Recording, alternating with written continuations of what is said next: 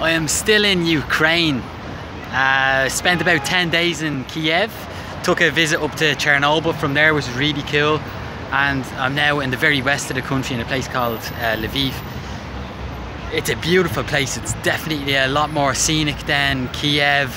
Uh, a bit more touristy, but nobody speaks English here. So the tourism, from what I can see, is is mainly from Russia or Belarus or this part of Europe. So that's quite kind of made it a little bit difficult here.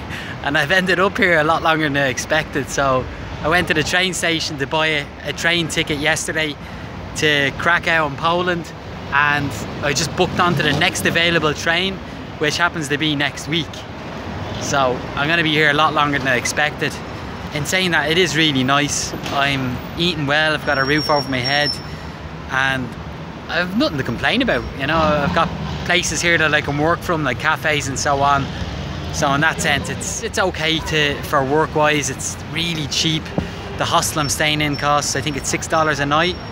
I'm only spending maybe less than $20 a day so I'm saving money and that was the whole purpose of coming to Eastern Europe in the first place so yeah things are going well uh, my plan from here when I get to Poland I hope to buy all the proper vlogging equipment so I can start making HD clips and from Poland I really don't know I'm considering going back to Ireland a little bit earlier than expected so I can trek in good weather there do a, a outdoor adventure that I wanted to do as training for the Pacific Crest Trail next year.